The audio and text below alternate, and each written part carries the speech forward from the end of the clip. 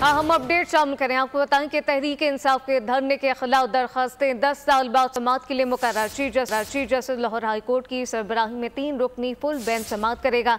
तफसीत क्या है, अब्दुल रहमान से जानते जी, अब्दुल रहमान। जी, बिल्कुल। तहरीक इंसाफ के साल 2016 के धरने के खिलाफ दरखास्त दस साल बाद समाज के लिए मुकर हो चुकी है। Chief justice Lahore high court Aalia Neelum की सरबराही में तीन रुकनी फुल बेंच दस अक्टूबर को इस केस की समाप्त करेगा जबकि तहरीक इंसाफ के धरने के खिलाफ दरखास्त दायर करने वाले वकील ए के डोगर जो है, वो इंतकाल कर चुके हैं।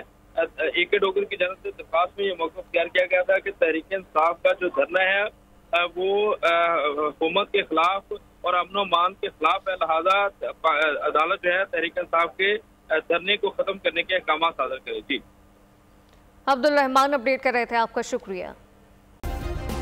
सब्सक्राइब करें और बेल दबाएँ ताकि कोई खबर रह न जाए।